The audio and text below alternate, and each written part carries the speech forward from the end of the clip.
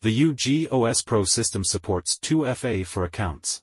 After enabling this feature, in addition to entering the password, users must also input a one-time verification code when logging in, thereby enhancing account security. Install the Microsoft Authenticator app on your phone in advance by searching for it in the App Store. You can also use other apps that support the OTP, one-time password, protocol.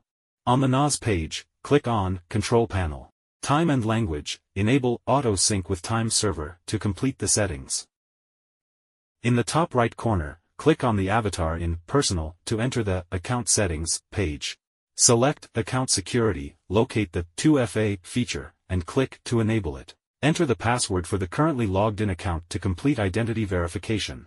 Click App Installed, Next. The system will generate a QR code. Open the app on your phone, Scan QR code, select Add Account, and scan the QR code generated by the UGOS Pro system. After scanning, Authenticator will add a Ugreen NAS account and generate a one-time password code. On the NAS page, enter the code and click Next.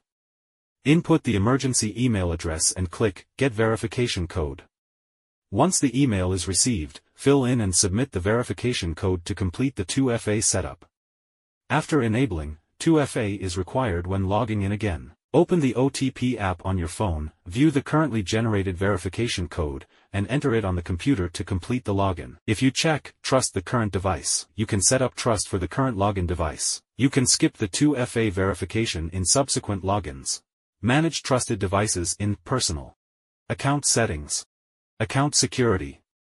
You can choose to trust the current device or revoke the trust permissions of other devices.